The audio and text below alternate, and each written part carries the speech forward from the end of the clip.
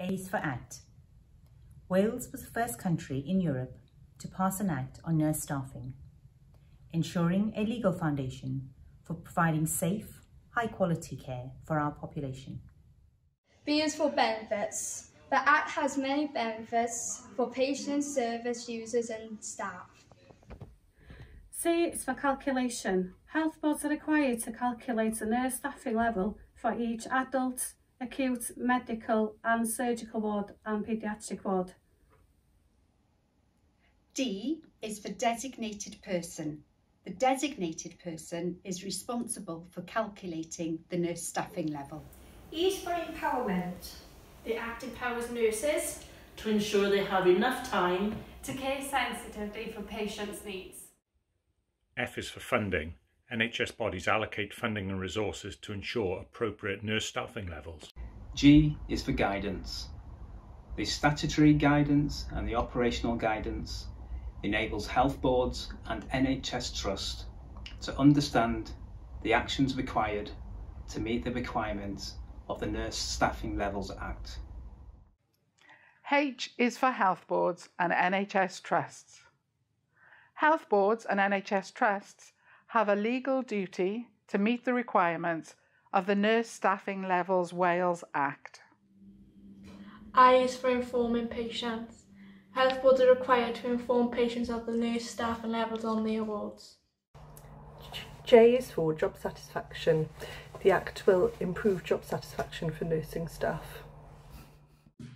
K is for knowledge. Data collected by health boards and the NHS trusts improve their knowledge to inform decisions regarding the deployment of nursing staff and workforce planning. L is for leadership. The Act and its programme of work aims to empower nurses and promote leadership across all levels of the nursing workforce. M is for maintaining nurse staffing levels. Health boards have a duty to take all reasonable steps to maintain the nurse staffing levels. N is for nurses. Nurses contribute to decisions regarding the nurse staffing level. O is for Once for Wales. There's a national agreement for health boards and trusts in Wales to follow the Once for Wales approach. P is for professional judgment.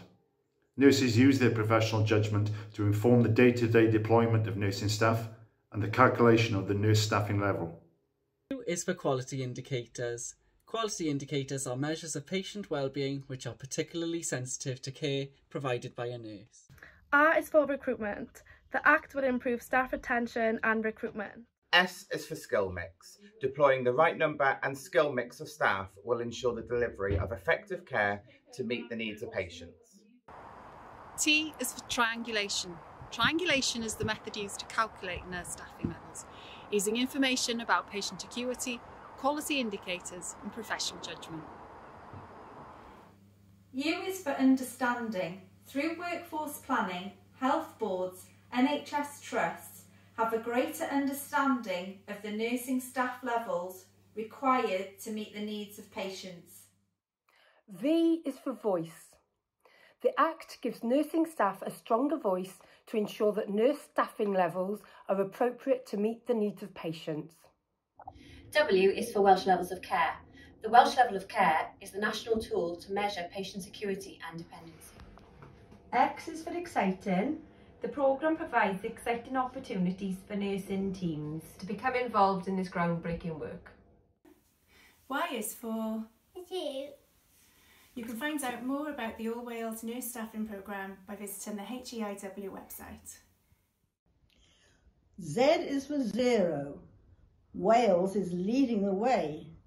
There is so much to do and no time to lose.